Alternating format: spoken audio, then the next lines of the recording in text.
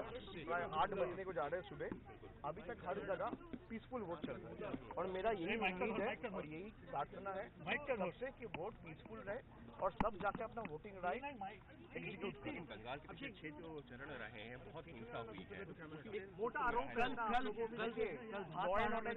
Law and order का responsibility election commission का है the state government doesn't hold office with the election commission and the MCC is in place you have to remember So anything goes wrong, the election commission is the one who needs to be held responsible, not the state government. Abhishek, also you have sent a legal notice to Prime Minister government Modi. State police cooperate नहीं कर रही है कौन बोला है कल तो कल कल तो ये बोल रहा है कि कोऑपरेट कर रहे हैं कल बोल रहे हैं नहीं कोऑपरेट कर रहे हैं अगर नहीं कोऑपरेट कर रहे you speak to the Abhishek, you have government also sent a legal notice to Prime Minister Yes, of Modi. course I Just have. would you like to tell something about it?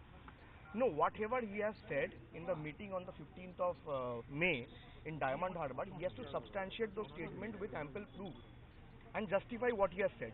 If he fails to do so, I'll sue him in the criminal and defamation cases.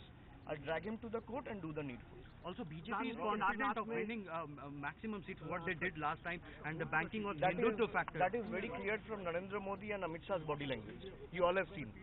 And Narendra Modi has gone to meditation. You look at his body language five years back and look at his body language now. He has understand that he is going to face a thumping defeat in the next five days.